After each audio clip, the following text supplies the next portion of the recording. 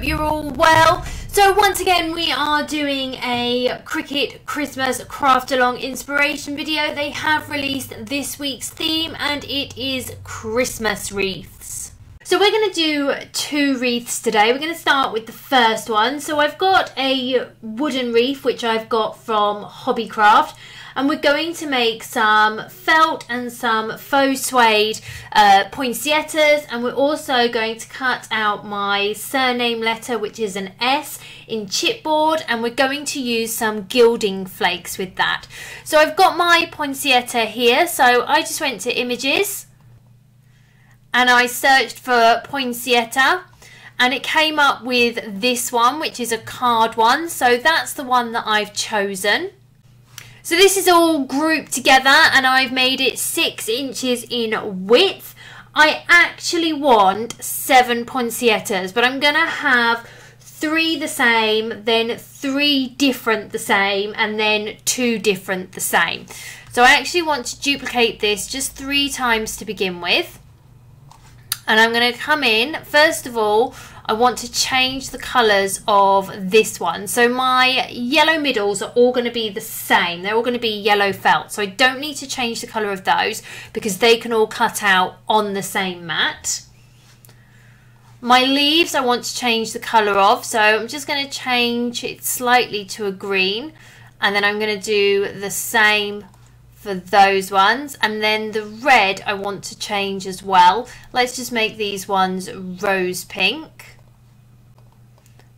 then I want to work with this one. So again, my middle, I'm going to keep the same. They can all cut out on the same mat. I want to change my leaves to a different colour. So let's just choose sage. And then for my red, I'm actually going to cut this one out in like a, a faux suede. So let's just change the red slightly to there and then we can change that one and we can change that one. So this one I'm going to have duplicated twice.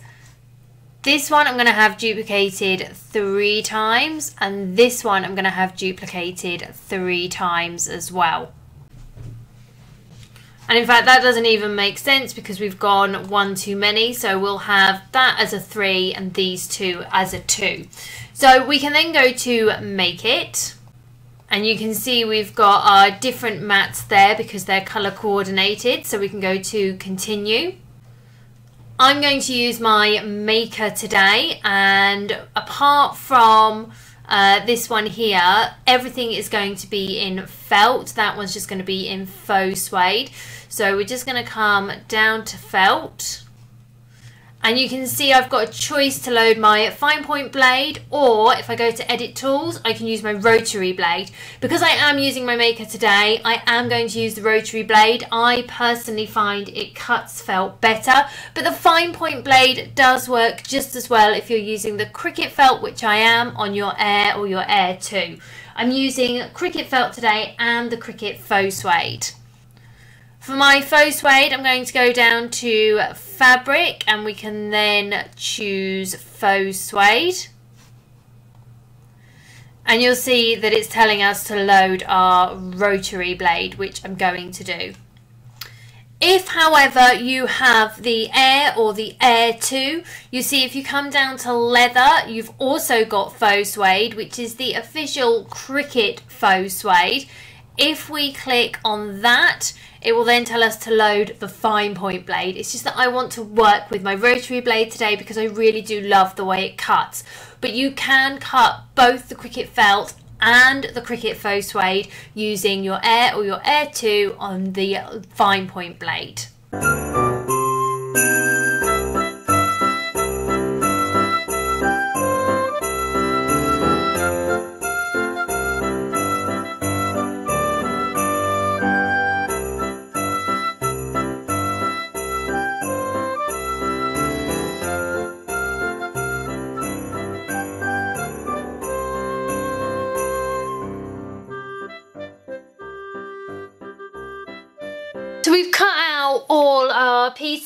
I've got my felt pieces. I also used some faux suede as well, uh, just to add a different texture and colour in there. Again, I used my rotary blade. So I've used my rotary blade for all of this. We've got a few different colours. So we're now going to construct our poinsettias.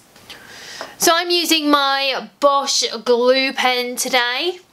And these are pretty self-explanatory in putting together. So we're going to get our biggest piece first in green and we're just going to add some hot glue onto that. And then glue our next leaf piece. Again, we're going to add some hot glue in the centre. And then just add the next piece. So this will give us our base. We're going to add a little bit more hot glue in the centre and then add our first red piece and you literally just keep building it up. It's a little bit like a jigsaw puzzle but I mean you can have your pieces wherever you want them. It's completely up to you how you want it to look. If you end up with spider's webs, as I like to call them, just let it cool down a bit and then you can pull them away. I just find working with felt and faux suede that hot glue for me personally is the best thing to work with. Um, I know people will disagree with that, there's other things that people like to use. I just get on really well with the hot glue when it comes to these materials. And then finally we can add our pollen centre. And then that's our poinsettia all kind of constructed.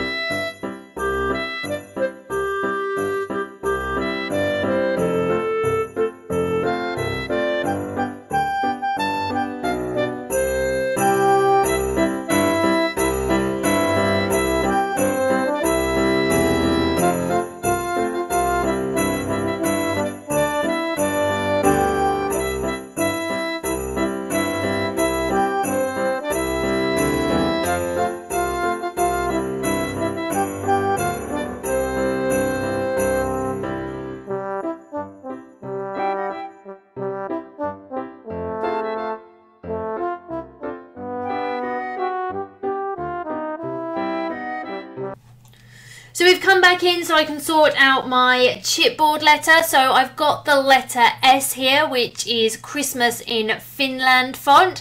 I don't need to do anything to it. I've just sized it up in a height of 9 inches because that's the size I want. We're then going to go to make it.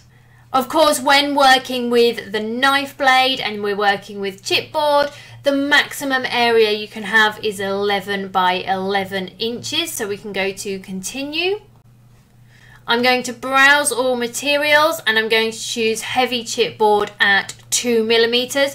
If you don't have uh, the maker and you want to do this with the Air or the Air 2, you could use some heavy cardstock if you wanted. You could use anything you wanted to do your initial. It's just that I want to use the chipboard today.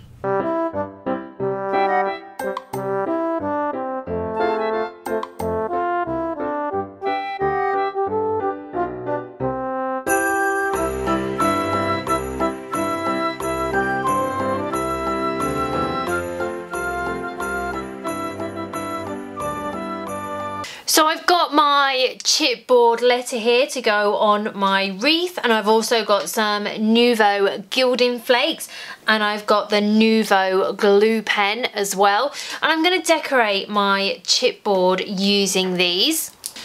So the Nuvo glue pens are actually blue tipped and you'll see when I put the glue onto here, it's a kind of milky colour. Now if you were going to use this with glitter um, or any kind of other medium, so you're going to use this to stick card to each other, you would stick them immediately on. However, with the gilding flakes, we're going to wait for it to go from that milky colour to a transparent colour. So it's not completely dry, but it's still tacky.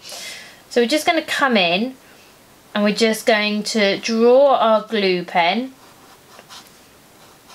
all the way to the bottom of the curve and I'm just going to do this in sections because I find it easier to do it that way and it's gone on with a kind of milky consistency and we're just going to leave it for about a minute just so it can go transparent.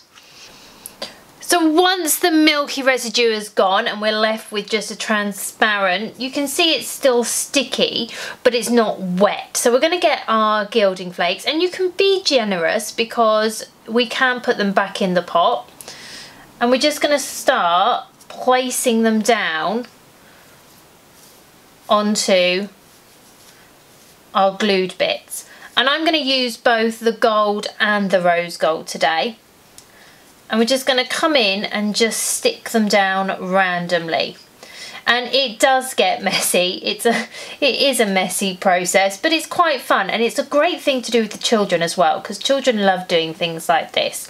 And as long as you've got paper down just as you would with glitter you can catch the excess and you can reuse it. I've got a little pot that I've got full of mixed bits. So if I'm doing a mixture like I am with this one I'll put it all in a separate pot. But a lot of the time I use either gold or rose gold so they can go straight back in the pots in which they come from. Now ideally you want to use a uh, fluffy brush, anything that's kind of soft and a bit fluffy you can use, but you can also use your finger and I'm just going to use my finger today. So I'm just going to come in and I'm just going to start just gently rubbing and we're just going to give it a nice gentle rub.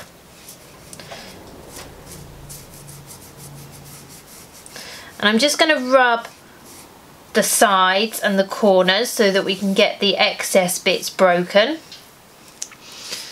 And then we're just going to come in and give it a tap. And again, we're just going to come down the sides. And if we've got any bits that are hanging on, we can just use our finger to dislodge those. And we've then got a really beautifully decorated piece of chipboard.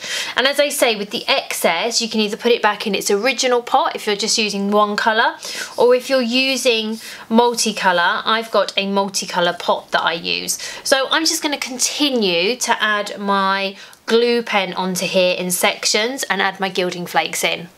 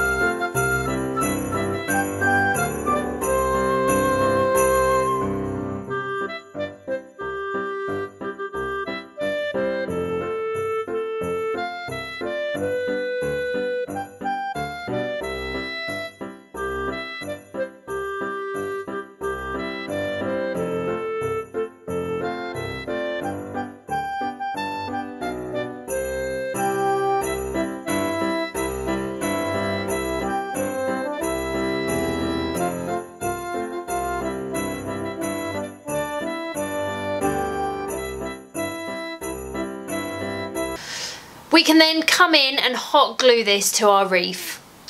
Now we've got our chipboard uh, letter on there, we can now come in and add the rest of our poinsettias in.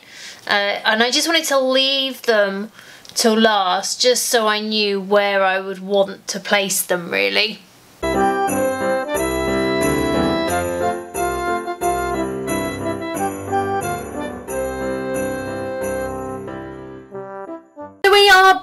In Design Space and we are going to create our second wreath. This time we're going to create it from scratch. We're not going to use a reef that we've bought as a base. We're actually going to make our reef. We're going to use chipboard today. So I am going to be using my maker and my knife blade. However, it is going to be an indoor reef. So if you wanted to use craft board, you could. I mean, you can use any material that you want to use. But if you've got an air or an air 2, you're certainly not excluded from creating something like this. You'll just have to change the material slightly. So you can see I've got some circles in front of me. I've got one at 9.262 inches and then I've got a smaller one at 7.62 inches and then I've got two small ones at 1 inch and then 0.7 inches. So with these two I'm just going to bring it in, I'm going to highlight both, I'm going to align and centre and I'm going to do exactly the same with these two. So highlight, align and centre. I'm then going to group those two together and I'm just going to hide this one here. I'm then going to bring these two over to this one and I'm just going to highlight, align and center horizontally just to make sure it's sat on the top there. I'm then going to click on that and ungroup and I'm just going to hide that smaller circle. I'm going to highlight these two and I'm going to weld them together. I'm then going to bring back the smaller circle. I'm going to highlight and I'm going to slice. And I can then come in and delete that middle area. I can then bring back my smaller, bigger middle bauble. And again, I'm going to highlight and slice. And that is then going to give me my bauble shape. I then want to duplicate that. So I've got three duplicates and with the third duplicate I'm going to come into my contour and I'm just going to contour out that middle piece. So this is going to be chipboard, it's going to sit on the back and we are going to slice a rectangle in there in a minute because we're going to have some lights in there. We're then going to have this piece sat on top. I've then got two circles which are 8.5 inches one is going to be vellum, which is then going to sit on top here. And the other is then going to be acetate, which again is going to sit on top of our vellum. So our lights will be behind. And then finally, our other bauble is then going to sit and they're going to be encased. So with our back solid piece, I want to come in, I want to grab a square and I'm just going to unlock it and I'm going to make it two inches in width by one inch in height and this is so that I can actually access the battery pack of my fairy lights that I'm going to attach to the back of this. So I'm just going to align and I'm going to center horizontally so it's in the center and I'm just going to slice out that rectangle. And then that's it, it's ready to go. So we've got three pieces of chipboard to cut out, and then we've got a vellum circle and a foil acetate circle as well. But as I say, you can use any materials that you want to use. So for mat 2, 3 and 4 I'm going to be using Cricut chipboard so I'm just going to browse all materials and I can choose heavy chipboard and of course it will tell me that I need my knife blade. For mat 1 I'm going to be using foil acetate today. So I'm going to come all the way down to plastic and I can then choose foil acetate. And of course that will just need the fine point blade. And then finally for mat number five I'm going to choose vellum. And again that is just the fine point blade as well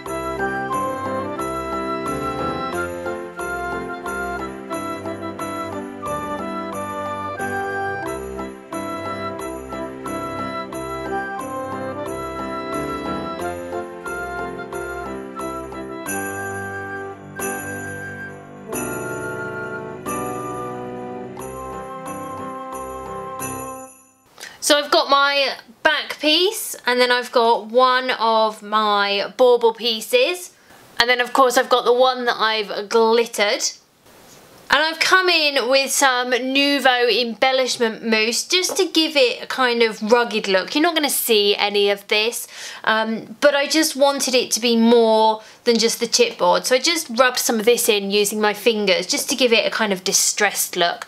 And I'm going to glue these two pieces on top of each other. And of course, part of this is actually going to be hidden, but we want that, we do want that and we're still going to be able to get our battery pack through there. And I'm just going to use some Gorilla wood glue today to glue these two pieces of chipboard together.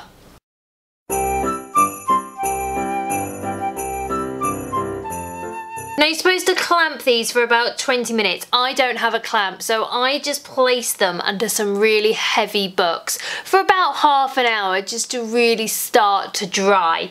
So I've got my glittered front bauble bit. I've got my Gold Stars foil acetate. And I've got my silver vellum. I've got some art glitter glue here and I'm going to just glue my acetate to the back of my chipboard.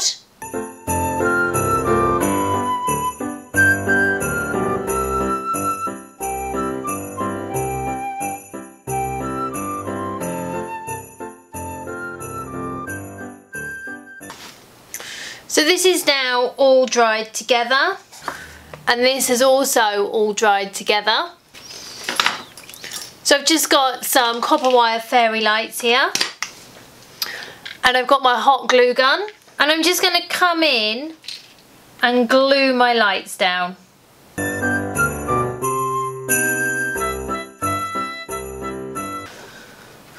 Then all we have to do is glue the two pieces together. I'm going to use Gorilla Glue again and then I'm just going to place them under some heavy books.